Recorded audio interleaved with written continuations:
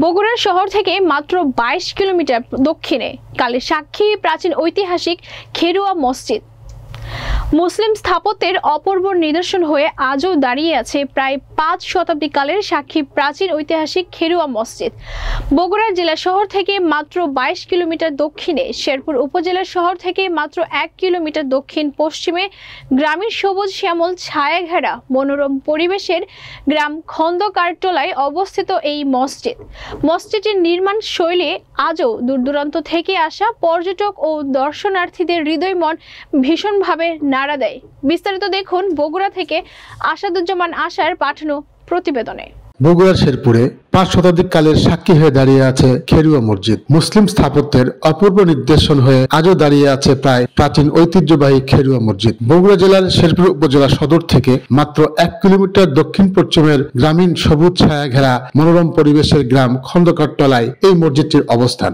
মসজিদটি নির্মাণ শৈলী আজও দূর দূরান্ত থেকে আসা পর্যটক ও দর্শনার্থীদের হৃদয়, মন ভীষণভাবে নাড়া দেয়। সীমানার পাঁচিরি ঘেরা এই মসজিদটির ভেতরে প্রবেশদ্বারের সামনে রয়েছে প্রতিষ্ঠাতার কবর। মসজিদের সামনের দেয়ালে স্থাপিত ফার্সি শিলালিপি থেকে প্রাপ্ত তথ্যে জানা যায়, মির্জা নবাব মুরাদ খানের পৃষ্ঠপোষকতায় আব্দুল সামাদ ফকির নয়শো উননব্বই হিজড়ি ছাব্বিশ জিলকত, পনেরোশো বিরাশি খ্রিস্টাব্দের সোমবার এই স্থানে মসজিদটির ভিত্তিপ্রস্তর স্থাপন করেন। উত্তর দক্ষিণ লম্বা বিশিষ্ট মসজিদটির বাহিরের দিকে দৈর্ঘ্য সাতান্ন ফুট এবং প্রস্থ চব্বিশ ফুট। ভিতর দিকের দৈর্ঘ্য পঁয়তাল্লিশ ফুট ও প্রস্থ বারো ফুট। আর মসজিদের চারিদিকে দেয়ালের পুরুত্ব ছয় ফুট। তিনটি গম্বুজ বিশিষ্ট এই মসজিদের চার কোনায় চারটি মিনার রয়েছে। মসজিদটির পূর্ব দেয়ালের তিনটি সহ উত্তর দক্ষিণে আরও দুইটি দরজা রয়েছে। এছাড়া মসজিদের তিনটি মেহরাব আয়তাকার ফ্রেমের মধ্যে গোলাকার করে স্থাপন করা হয়েছে। মসজিদটির কার্নিশ বাঁকানো। দেয়ালে কিছু কিছু পোড়ামাটির চিত্র চিত্রফলকও আছে, তবে সংখ্যায় খুবই কম। এই মসজিদ নির্মাণে ইট, চুন ও সুরকি ছাড়াও বৃহৎ আকার কৃষ্ণ পাথর ব্যবহার করা হয়েছে। মসজিদের সামনের দেয়ালে দুটি শিলালিপি আছে। এর একটি শিলালিপির ভিতরে বহুমূল্যবান সম্পদ রক্ষিত ছিল, যা পরবর্তীতে ব্যবহৃত হয়। আর অপরটি বর্তমানের পাকিস্তানের করাচি জাদুঘরে সংরক্ষিত আছে। সম্রাট আকবরের আমলে মসজিদটি নির্মিত হওয়ায় এই দেয়ালের বিভিন্ন স্থানে ব্যতিক্রমী অনেক চিহ্ন দেখা যায়। স্থাপত্য বিশারদদের মতে, খেরুয়া মসজিদের সুলতানি ও মুঘল আমলের মধ্যবর্তী স্থাপত্য নির্দেশন প্রকাশ পেয়েছে। এতে বারো আট কোনা কলম ব্যবহার করা হয়েছে, যা বাঙালি স্থাপত্যের শিল্পের বিরল। এই মসজিদটি দীর্ঘ সময় অবহেলিত পড়েছিল, তবে নব্বই দশকের দেশের প্রত্নতন্ত্র বিভাগ মসজিদটি সংস্কারের উদ্যোগ নেয় ও আগের অবস্থায় ফিরিয়ে আনে। পরে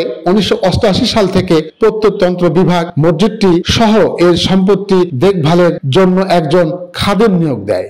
এই খেরে মসজিদটি সম্পর্কে জানতে চাইলে মসজিদের খাদেম বলেন। আমি অষ্টাশি থেকে এখানে আছি। এরা আব্দুল সামাদ ফকির মির্জা মুরাদ খানের ইনি আরবের লোক। ইনি আসে মির্জা মুরাদ বলে যে এটা একটা মসজিদ তৈরি করব। সব মির্জা মুরাদ বলে যে হ্যাঁ অনুমতি দিছে? দেওয়ার পর মঙ্গলবারে ভিত দেয় ভিত দেওয়ার পর দুটো কপি তুলে আসে। আসে আব্দুল সামাদ ফকির বলে যে এটা আমাদের থাকার জায়গা দিতে হবে। তো উনি বলে যে, কাল জামানার লোকেরা ঝামেলা করতে পারে। তো বলছে যে কবিতা বলছে যে, যদি কাল জামানার লোকেরা ঝামেলাই করে, তার পরাভোগ আল্লাহর তরফের থেকে পাওয়া যাবে। এই কথা কয়ে কবিতার দুটো উড়ে চলে গেছে এলাকাবাসী জানান ইতিহাসে সমৃদ্ধ এই মসজিদটি পরিদর্শনে প্রতিনিয়ত দেশ বিদেশের বহু পর্যটক ও দর্শনার্থী দেখতে আসেন। তবে মাত্র কয়েক শত গজ কাঁচা সড়ক ঐতিহ্যবাহী এই মসজিদটিকে কিছুটা দুর্গম করে রেখেছে। এই অবস্থায় মসজিদটিতে দেশ বিদেশের পর্যটকদের সরাসরি আসার জন্য পাকা রাস্তা নির্মাণ করা প্রয়োজন। এতে মসজিদ পরিদর্শনে আসা ভ্রমণ পিপাসী মানুষ যেমন তৃপ্তি মেটাবে তেমনি মুসলিম স্থাপত্য সম্পর্কে নতুন প্রজন্মের মাঝে আগ্রহ জোগাবে। আসাদুজ্জামান আশা রাজধানী টেলিভিশন বগুড়া।